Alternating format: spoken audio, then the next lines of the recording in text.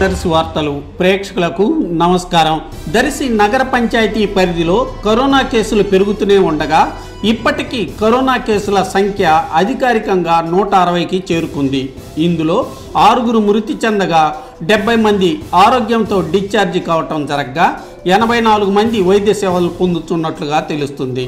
ప్రజలు కరోనా బారిన పడకుండా నగర పంచాయతీ పరిధిలో శానిటేషన్ కార్యక్రమాలను నగర పంచాయతీ కమిషనర్ ఆవుల సుధాకర్ రావు పర్యవేక్షణలో ముమ్మరంగా చేపడుతుండగా జాగ్రత్తలను ప్రచారం చేయించడం కూడా జరుగుతుంది.